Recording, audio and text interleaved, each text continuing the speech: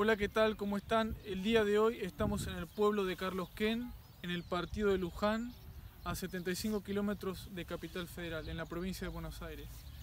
Eh, bueno, su nombre, Carlos Ken, se debe este, a un abogado, periodista, eh, que participó de la Guerra del Paraguay, que data de 1865 a 1870, durante la presidencia de Bartolomé Mitre de 1862 a 1868 y la continúa Domingo Faustino Sarmiento de 1868 a 1874. Eh, el gobernador este, de Buenos Aires por aquella época eh, funda esta ciudad eh, y le pone el nombre de su amigo Carlos Ken.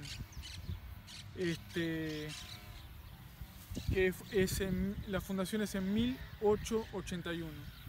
Como verán, cuando se consolida el Estado argentino por Julio Argentino Roca en 1880, con la campaña del desierto, lo que hace es este, inaugurar este ramal este, ferroviario de, que después continúa en el siglo XX de Luján hacia Pergamino. durante el siglo XVII esto era un camino real, desde el río de la Plata hacia el Alto Perú y las minas del Potosí.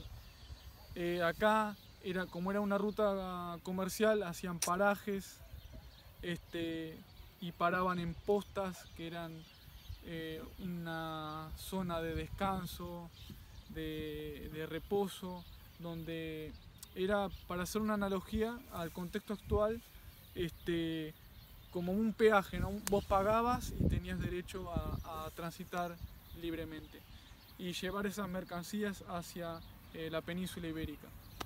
Eh, bueno, Carlos Ken eh, falleció a los 31 años, muy joven, por fiebre amarilla.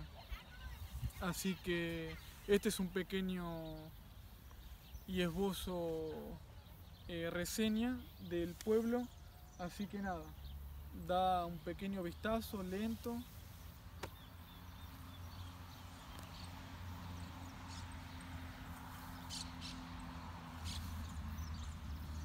Bueno, y eso es todo, así que les mando un saludo grande y hasta luego.